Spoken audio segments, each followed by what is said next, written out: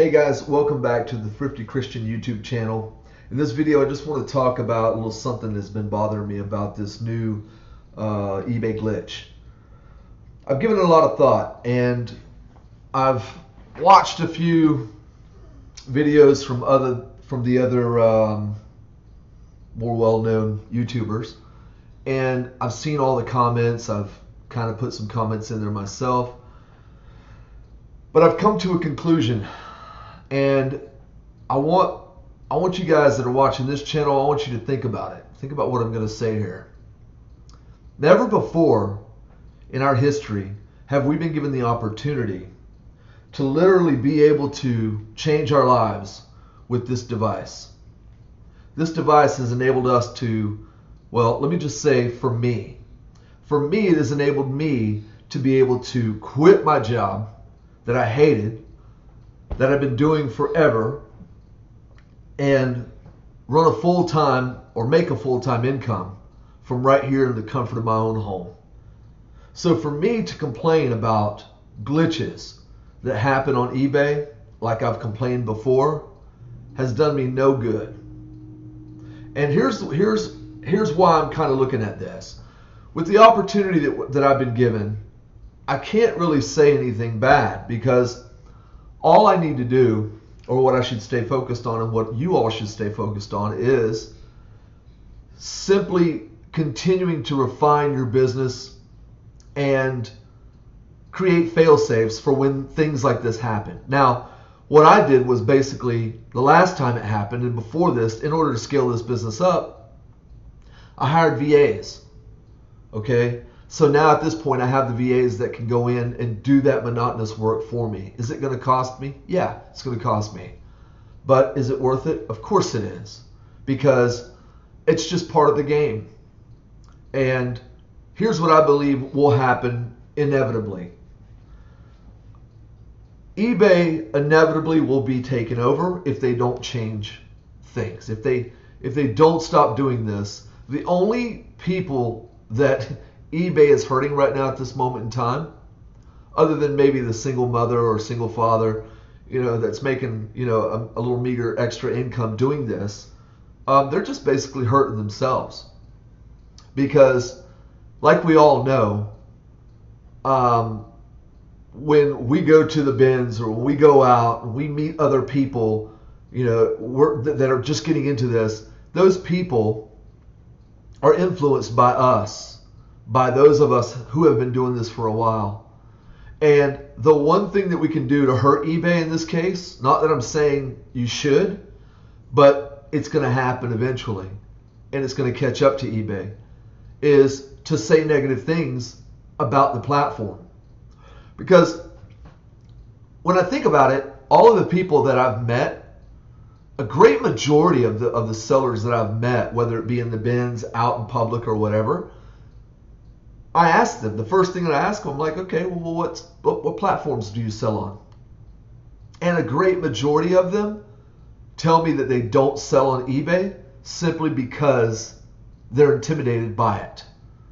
They don't like the shipping, they don't like how it's organized, and they're just greatly overwhelmed at how hard and, and technical it is to list on it. Now, those of us who have overcome that and our sellers on eBay, congratulations to us because we did what the greater majority of what I'm meeting out there have not and choose not to. So before we start to complain, let's just think about that. Let's think about that for a moment. Yeah, is it a headache? Is it a pain in the butt? Yes. Nobody wants to do this. This is the third one that I can think of that has happened.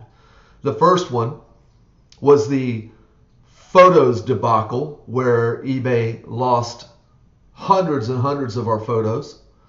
The second one that kind of went unnoticed, and I don't know if you guys can confirm this with me or not, but I noticed it, and I even made a video about it. Um, it was when they added the California Prop 65, I believe it was. That little box that they put in there for California. They did it magically overnight, by the way, too. I was kind of surprised at how quick uh, the government had some authority over them and getting them to put that in there really fast. uh, because we've asked for certain things that we still haven't got yet. So kind of kind of worried about that one, kind of wondering, still shaking my head. So that was the second one. And the third one is this one, where just some simple change of how they want the platform to look and how they want the item specifics laid out. And it's funny enough that the last two have happened in the item specifics. Um, with the California uh, Prop 65 or whatever that was, it threw out your um, style. It was the style of the, the, the item that was tossed out. And when you went to relist the item, you had to go back in and fill in what style of clothing item it was. So not not a lot of people talked about that one, but in the long run, I believe that eBay is only really just shooting themselves in the foot because as more people talk about this, and quite honestly, if I was a shareholder with eBay and I found out about this happening over and over and over again, I wouldn't buy much of their stock. I wouldn't really I wouldn't put my trust into their stock. And I think that's what's going to hurt them in the end if their platform doesn't change some way to simplify and to protect the buyer. Oh, I'm sorry, the seller. So, guys, just think about that before you go out there and before you get mad and, and say negative things. First, I just want you to think about how grateful you should be that you have the ability in the first place because this wasn't around in my younger years, wasn't around when my mother was working, wasn't around when my grandpa and grandma were out there working. Never in our life's history before have we had the opportunity to do what it is that we're doing today. So for me to sit around and complain about it and call eBay and go, hey, what are you going to do for me? How are you going to credit me? Because you know we're just we just live in that type of world where we want um, what we want. We want to be justified in, in our means of getting our point across. So before I go out and start complaining on this one, I'm just going to say eBay, it's all on you.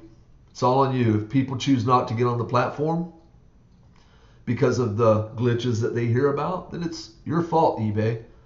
Not ours, but yours. So when a better platform comes along and wipes you off the map, you'll know why. So with that being said, guys, I hope you have a blessed one. I'll see you in the next one. Thrifty Christian, I'm out.